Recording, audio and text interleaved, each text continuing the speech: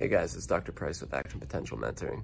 And so a common question is, what happens if I miss my day of questions? Or what happens if I didn't complete my entire goal? So there's a really important concept called never miss twice.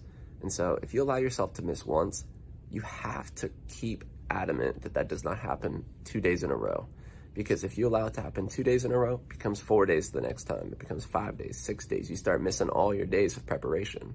And so you have to utilize this concept of never miss twice. If you miss once, I get it. Life happens. Nobody's perfect 24 7. Say you have 100 questions to get through and you only do 85, that's acceptable in small occasions. If you allow that to happen two days in a row, then that's going to become your new norm. So never miss twice. Be okay with not hitting your goal every single day because your goal is so big not because you are inadequate. And that's an important frame shift that you need to keep in mind. Your goal is going to be so big that you're occasionally not going to hit it 100% the first time that you try to do it. But that's the importance of having big goals, is because even if you miss it, you're still doing way more than anybody else. And so that's super important. Hope that helps.